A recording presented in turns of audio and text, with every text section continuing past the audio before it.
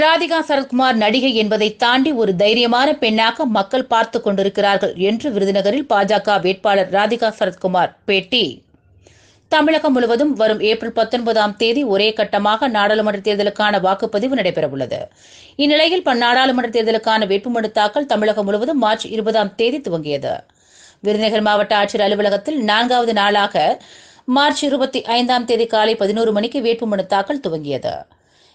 இந்த விருதுநகர் நாடாளுமன்ற தொகுதியில் பாஜக கட்சியின் சார்பில் போட்டியிடும் ராதிகா சரத்குமார் தன்னுடைய வேட்புமனுவினை தாக்கல் செய்யும் தேர்தல் நடத்தும் அலுவலரும் விருதுநகர் மாவட்ட ஆட்சியருமான ஜெயசீலனும் தாக்கல் செய்தார்.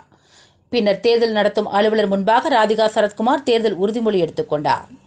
தேர்தல் நடத்தும் அலுவலர் முன்பாக ராதிகா சரத்குமார் உறுதிமொழி எடுத்துக் கொண்டது. ராதிகா சரத்குமார் வேட்புமனு தாக்கலின் போது அவருடைய கணவர் சரத்குமார் மற்றும் விருதுநகர் மாவட்ட பாஜகவின் கிழக்கு மாவட்ட தலைவர் பாண்டுரங்கன் உள்ளிட்ட சில நிர்வாகிகள் உடனிருந்தனர்.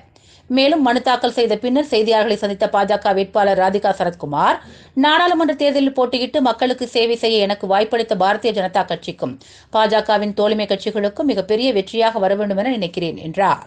மேலும் வரும் நாட்களில் மக்களை சந்தித்து மக்களுக்கு சேவை செய்ய இந்த தேர்தலில் போட்டியிடுகிறேன் என கூறினார். மேலும் பேசிய ராதிகா சரத்குமார் மக்களிடம் எனக்கு நல்ல வரவேற்பு கிடைத்துள்ளது என்றார். தற்போது நடைபெறுவது நாடாளுமன்ற தேர்தல் என மக்கள் புரிந்து கொண்டிருப்பதே ஒரு வெற்றி என்றார். மேலும் பேசிய ராதிகா சரத்குமார் நடிகை என்பதை தாண்டி ஒரு தைரியமான பெண்ணாக மக்கள் என்னை பார்த்து கொண்டிருக்கிறார்கள் என்றார். தேமுதிக வேட்பாளர் விஜயபிரபாகரன் எனக்கு ஒரு மகன் போலதான் என்றார். விருதுநகர் பாராளுமன்றத்தில் பாஜக தலைவர் யாரெல்லாம் பிரச்சாரம் செய்ய வருகிறார்கள் என்பதை மேலிடம்தான் முடிவு செய்யும் என ராதிகா சரத்குமார் தெரிவித்தார். வேட்பு மனு தாக்கல் முடிந்துவிட்டது. ரொம்ப சந்தோஷம்.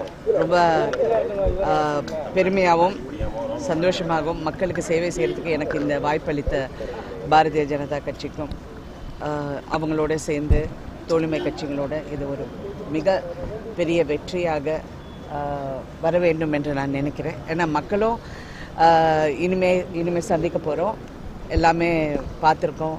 இந்த தொகுதிக்கு நல்லது பண்ணுறதுக்காக மக்களுக்காக சேவை செய்கிறதுக்காக நான் இங்கே வந்திருக்கேன். ஸோ வெற்றி மக்கள் கையில். கேம்பெயின் நீங்க கேம்பெயின் பண்ணிட்டு இருக்கீங்க ஆமா. இப்ப மக்கள்கிட்ட வரவேற்பு உங்களுக்கு எப்படி மேடம் இருக்கு இப்ப? நல்லா இருக்குங்க. ரொம்ப நல்லா இருக்கு. நீங்களே பார்த்தீங்க டெஃபினட்டாக மக்களிடம் வந்து இது வந்து ஒரு பாராளுமன்ற தேர்தலுங்கிறது அவங்க எல்லாருமே புரிஞ்சுக்கிட்டாங்க. அது வரைக்கும் அதுவே ஒரு மிகப்பெரிய வெற்றி.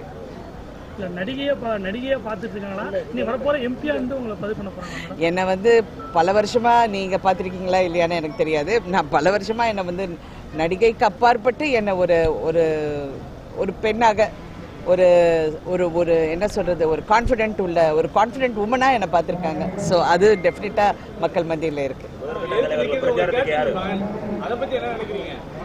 அதான் நேத்தே சொன்னேன்ல எனக்கு சின்ன வயசுல இருந்து நான் பார்த்துருக்கேன். என் பொண்ணு கூட தான் படித்தாப்பில் so is like another son to me